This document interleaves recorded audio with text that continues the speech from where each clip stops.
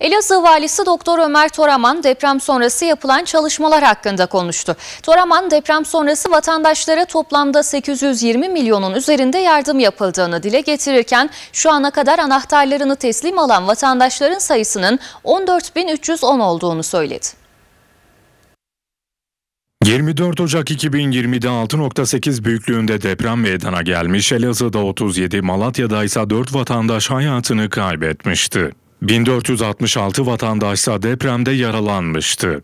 Depremin ikinci yıl dönümü olması sebebiyle açıklamalarda bulunan Elazığ valisi Doktor Ömer Toraman 30 gün gibi kısa bir sürede geçici barınma merkezlerinin hazır hale getirildiğini kaydetti. Çadır e, kentler oluştururken e, hakikaten dünyada örneği az olabilecek bir süratle e, 30 gün e, depremden 30 gün sonra geçici barınma merkezlerini yani konteyner kentleri tesis etmiş bulunuyoruz. Vali Toraman şu ana kadar Elazığ'da yapılan yardımların toplamda 820 milyonun üzerinde olduğunu açıkladı. E, vatandaşımıza doğrudan yapılan aynı ve yak, nakdi yardımların toplamı e, 820 milyonun üzerinde.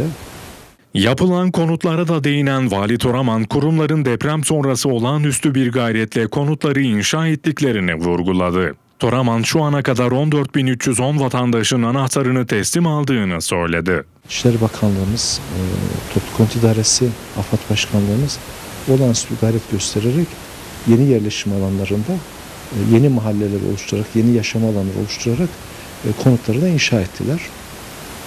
Bugün itibariyle Elazığ'da 24.479 vatandaşımız hak sahibi.